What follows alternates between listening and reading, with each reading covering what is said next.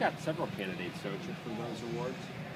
Well, I mean, you got obviously Barney's, you know, the obvious choice, and you know, Rizzo's had a heck of a year. You know, Welly's, you know, had a great year. Castro's last few months has, has been pretty good. You know, making four errors in the last whatever it's been, seventy something games. So, um, you know, so it's yeah, we got some, you know, candidates and, and very strong candidates. Uh, you know, unfortunately, obviously, the, sometimes we know what gets involved in that, but you know, Barney's done nothing to to, to give his away. That's for sure.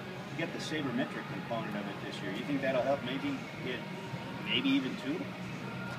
Well, I mean, it, it probably helps when people are doing the voting because it's right there in front of them and they can, you know, see what guys have done and, you know, as well as errors, as well as range and everything right in front of them. So it's got to help.